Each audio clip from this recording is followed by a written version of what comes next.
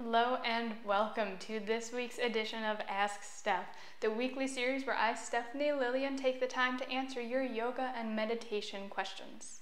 The question of this week is which yoga mat should I be using? That is an awesome question. Lots of students take time to figure out the yoga mat that will best serve their practice. So there's lots of yoga mats out there and a whole landscape of what you can choose from. So hopefully today I'm going to break it down for you. And this is all just my recommendations and what I've seen from other people using and what I've used myself.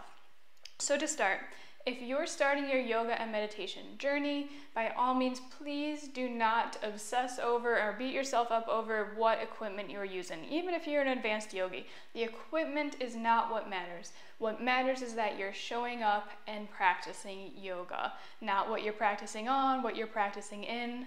Just be there for yourself and with yourself.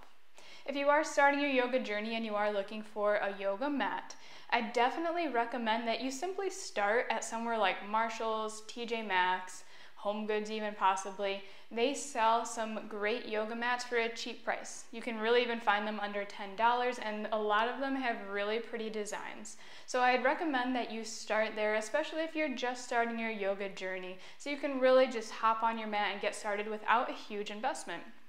That being said, I will say that those yoga mats, if you are starting to get more and more into your practice and practicing more routinely, they do start to kind of peel depending on the ones that you get. You'll notice where you usually have your hands and your feet, they might the foam might start kind of ripping up a bit.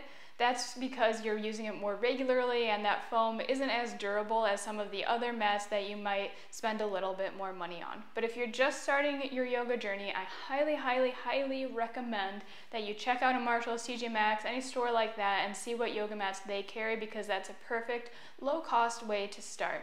I started with those type of mats all the way up to my yoga teacher training program. I was practicing yoga on just those mats that you find at those type of stores. That being said, in my yoga teacher training graduation, we were gifted Lululemon yoga mats as our graduation gift. Everybody in my uh, yoga teacher training class got one upon graduating. And I had no idea that more durable, thicker, long lasting mats even existed. I did not know there was a whole brand. I honestly didn't even know what Lululemon was. I vaguely knew what it was at the time. I definitely didn't know that they carried mats. By the way, this is not sponsored at all. This is just my own journey. Ever since that I got, as you can see, I'm sitting on my second Lululemon mat. They last a really long time. They last a super long time and I absolutely love them. Um, I'm sitting on this one right now and I think it's one of the thicker ones, but ever since I tried the mat and I got gifted that one at my yoga teacher training program, I really, really liked it because though it's an investment and they're a little bit more expensive, like I said, they last a really long time. So if you are looking to make an investment, I do recommend this mat. The cool thing about this one as well, which you'll find is they're just their normal mats on their site. This is just the thickest one.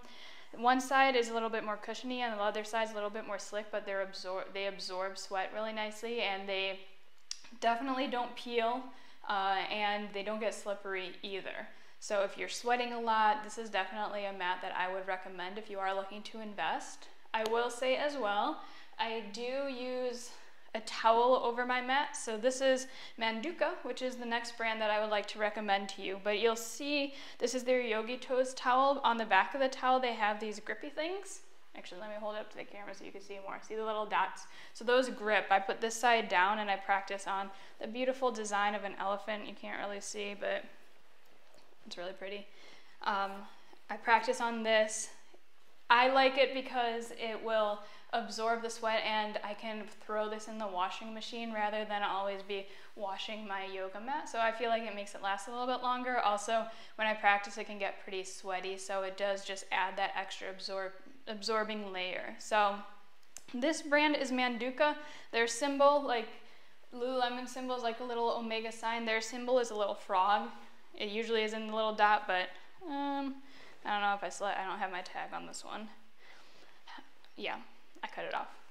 But Manduka, M-A-N-D-U-K-A, is an awesome brand that I know I see tons of yogis use their mat as well. They're eco-friendly, they're non-slip as well. Uh, I would love to try one, I just haven't yet because I've always had my Lululemon mats. But if you are looking for one that is a little bit more eco-friendly, um, it is, I've seen so many yogis use it and I would recommend that brand as well.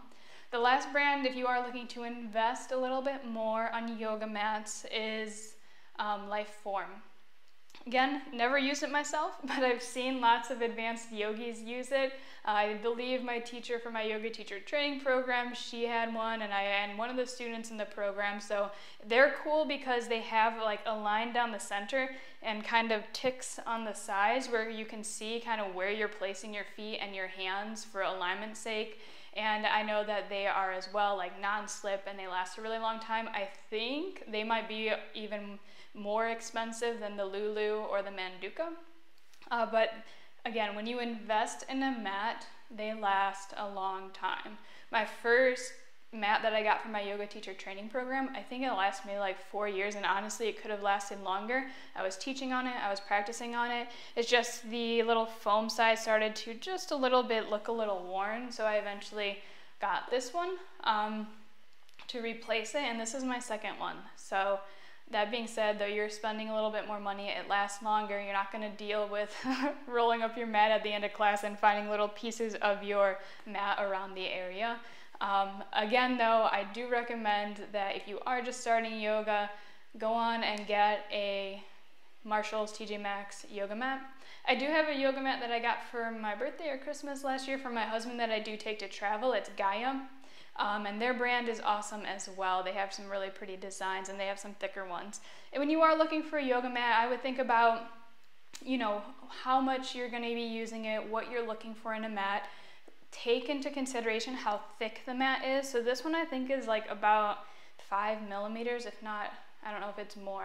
I, honestly don't know exactly how thick it is, um, but it's the thicker one. So if you think about it, if you're going to be doing postures that you're going to be putting pressure on your knees or anywhere that you want a little bit more padding, I would definitely go thicker. They also sell some very, very, very thin ones, even ones that you can fold up and travel with.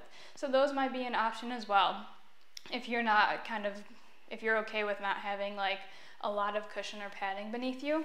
I honestly was teaching for a little bit just using this guy because I wasn't on my mat a lot. So this is the towel and it lays over my mat, but I was honestly just traveling using this towel. But it, it obviously isn't as good as the mat because it kind of ripples up and um, moves on you a little bit, but when it's on the mat, it's totally fine.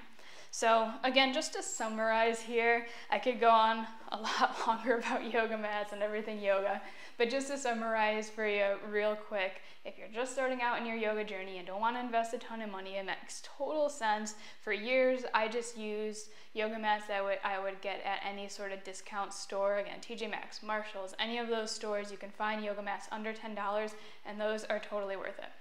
Once I discovered that there was a whole new realm of yoga mats and I really started to dedicate to my practice after my yoga teacher training program, I was initially introduced to the Lululemon mat and I've just stuck with it since. Um, there's no reason I haven't tried any other ones, just that I really liked how the Lulu one fit for me. It's durable, it works really well when I first got it, I was just like mind blown, didn't know these existed, bought one for my mom for Christmas, and I've been just loyal ever since. However, other brands such as, such as Manduka, Liforme, again, don't know of any others, haven't taken the time to really look extensively. Those are just ones that I have seen people and other teachers use and practice on and have enjoyed as well. So, Marshall's TJ Maxx, Lululemon, Manduka, Liforme. If you have any others you'd like to share with me, please feel free to do so. And again, if you do find yourself sweating a lot in practice, I do re totally recommend Manduka's uh, Yogi Toes mat that grip, or Yogi Toes towel that grips to your mat. Uh, I've really enjoyed having it as well, and it's just so easy to clean rather than scrubbing down your mat all the time. So I hope that helps you. If you have any questions, of course, feel free to reach out to me, and I will see you next time. Namaste.